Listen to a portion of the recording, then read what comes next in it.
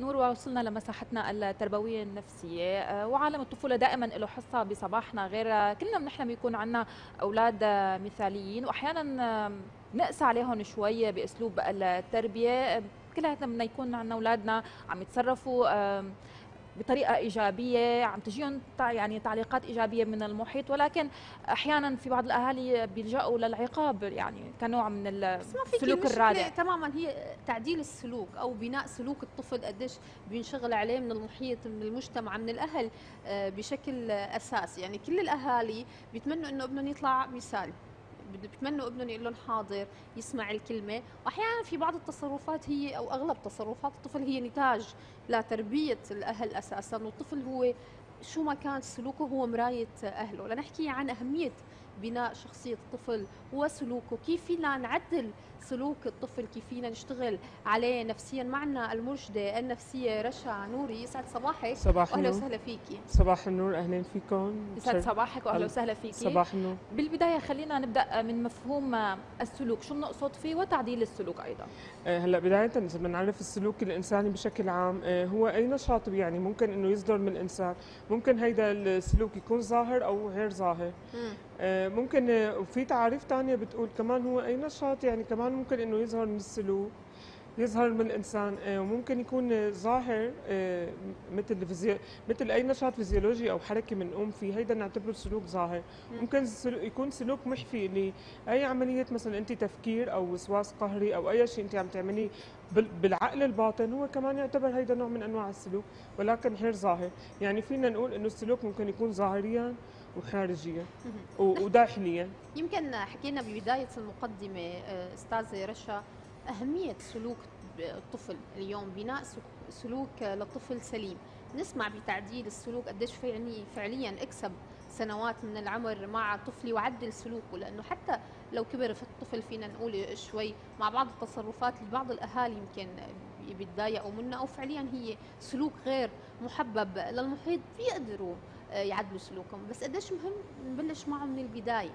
يعني أحيانا بتسمعي بتقولي سلوكه سيء للطفل أو هو بناء أو بيعصب أو بيخانق أو بيعمل تصرفات ما فيني أنا كأهل اضبطها فهون هذا. كلياته نحن فينا نقول ضمن سلوك وآلية سلوك الطفل اليوم. هلأ آه، إذا بدنا نحكي مثل إنه مبدئيا عملية تعديل السلوك تحديدا. فينا كمان نرجع نعرف تعديل السلوك شو هو يعني مختلف عن تعريف السلوك. صحيح. تعديل السلوك هو آه، إجراء عقابي. ممكن يقوم تقوم في الاحصائيات يعني الاهل بالبيت أو إنه نلجأ للاحصائيات التربوية في حال ما قدروا يسيطروا على الموضوع. إجراء عقابي حصرا تعديل السلوك يعني؟ هو هو بنقول إجراء عقابي بس ما يعني ضرب. هو ما يعني ضرب الطفل. مم. لا لا إحنا عم نحكي هو عملية هو عملية عقاب يعني هو عملية تعتبر عقابية. مم. سواء كانت ممكن تكون تعزيز ممكن هذا التعزيز يكون نوع من أنواع العقاب عرفتي؟ مم. يعني ما ما عم نحكي شيء إني إنه ممكن يكون شيء آه يعني بيأذي الطفل. بس هو عملية إنه انه عملية عقابية من أنواع العلاج النفسي السلوكي. بنتبعها مع الطفل لنثبت السلوك المرغوب فيه ونقلل أو نطفي السلوك اللي نحن بدنا نوقفه اللي هو سيء اللي هو عم يأذي الطفل والمحيط والعائلة سواء بالمجتمع سواء بالمدرسة.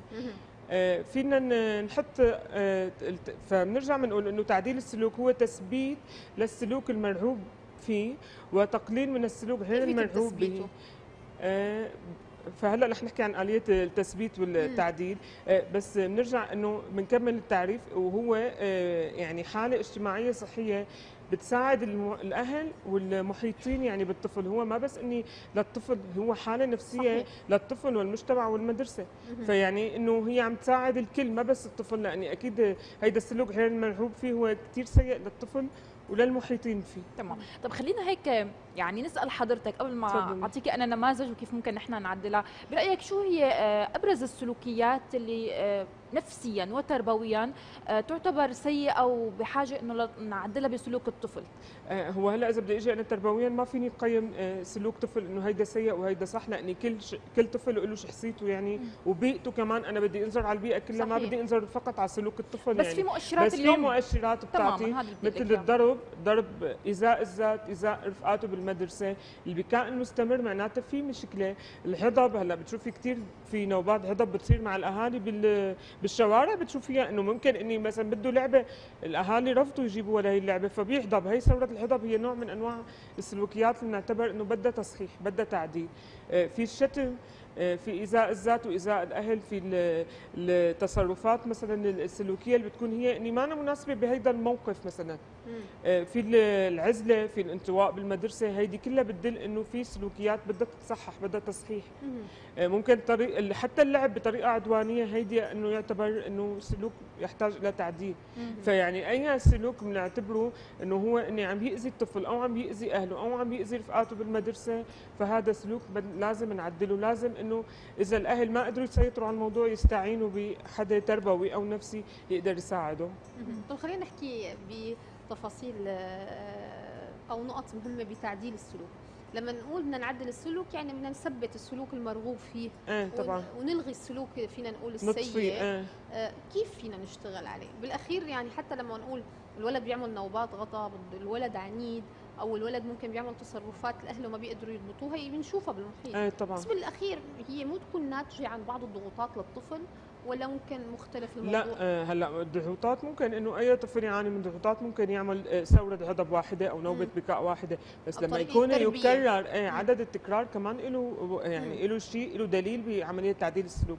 إذا بدنا نحكي يعني مختصرا عن عملية أو شو يعني بدنا نقول برنامج تعديل السلوك. طبعا له خطوات متبعة تربويا ونفسيا ما انه عملية عشوائية يعني. وهي بداية أنا برجع بأكد إنه هي بحاجة لوقت يعني الأهل يكون عندهم طولة البال والوقت يعني موضوع تعديل السلوك سواء حتى للكبار أو الصغار هو ما كبسه زر. صحيح. يعني بدنا إن نحن نكون نحن نكون مرتاحين نفسيا لنقدر نعدل سلوك الطفل.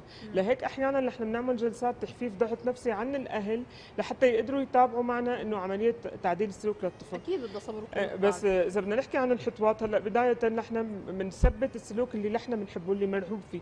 بنحاول نثبته بنعززه كل ما صار السلوك عند الطفل.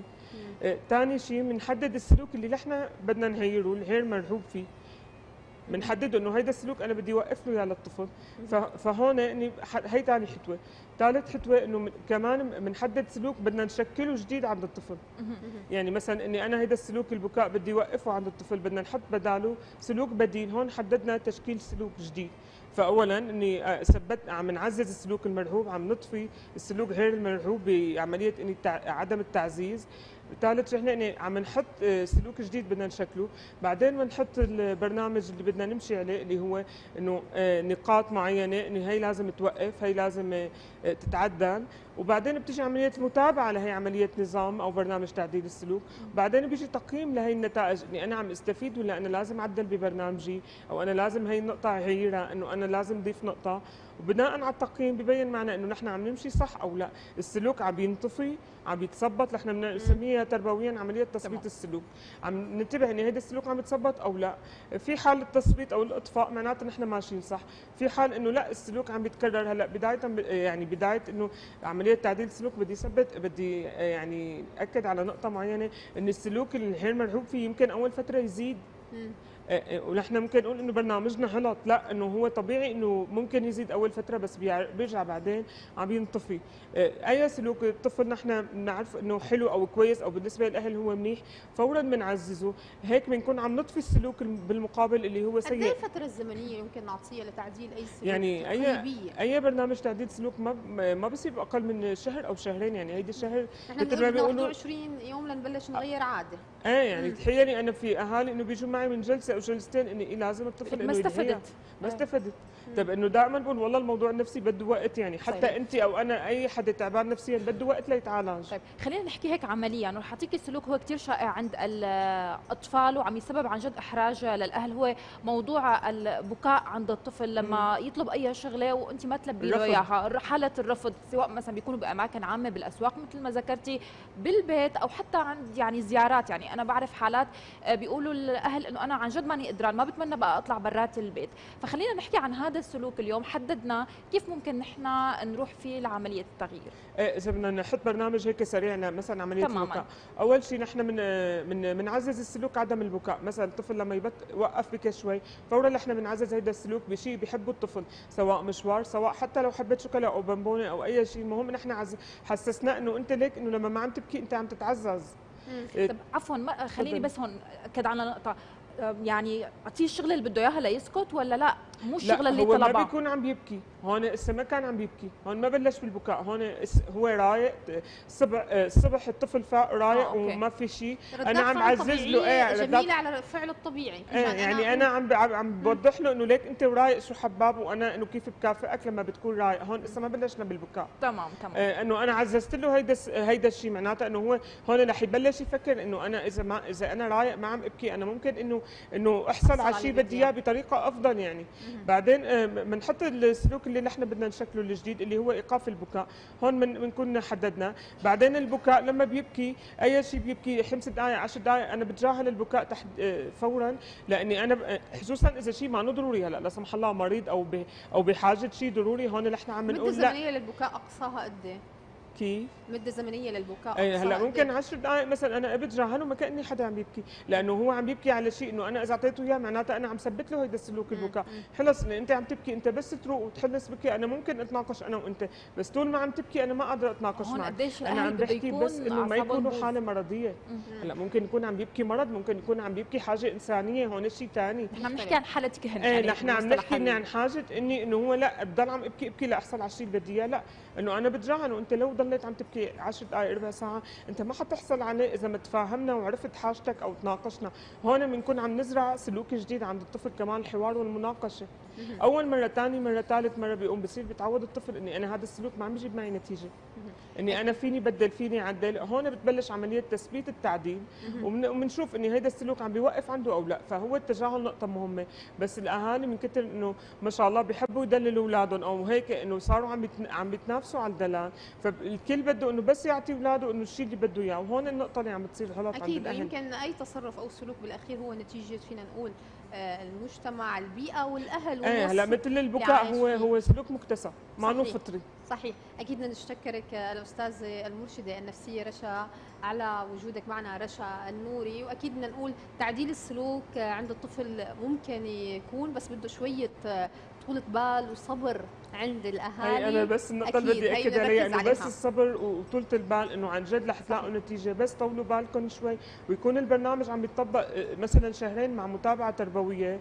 آه، واكيد رح تشوفوا النتائج فيها لهي الشهرين. بس. إنه كبسة زر ما في شيء نفسيا. بصير. صحيح. و- شكرا وعن جد يعني كثير بنصح الأهالي إنه الاستشارات التربوية النفسية كثير شيء ضروري بالحياة. والمجتمع.